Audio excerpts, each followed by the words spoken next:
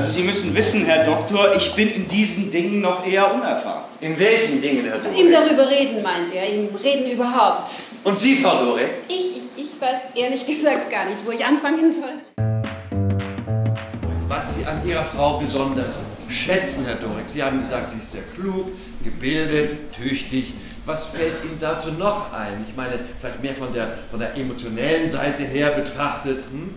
Ja, also von der emotionellen Seite her betrachtet ist sie wirklich überaus emotionell. Sehr, äh, Gefühlvoll. naja, eher nur gewisse Gefühle.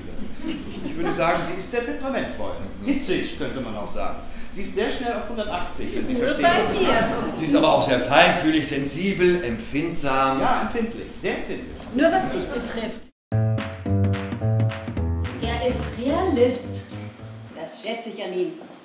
Er ist Realist und Minimalist. Darum beneide ich ihn. Er kann hochkomplexe Dinge auf einen ganz simplen Nenner bringen, auf seinen Nenner. Das ist eine Kunst. Das klingt sehr verantwortungsvoll. Ja, verantwortungsvoll, das ist er. Im Büro, da ist er so verantwortungsvoll, dass für zu Hause nichts mehr übrig bleibt.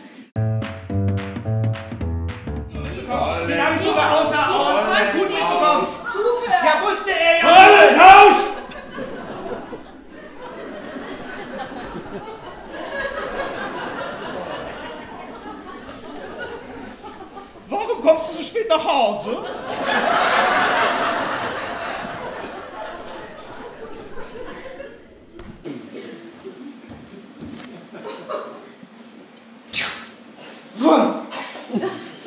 Abendsitzung.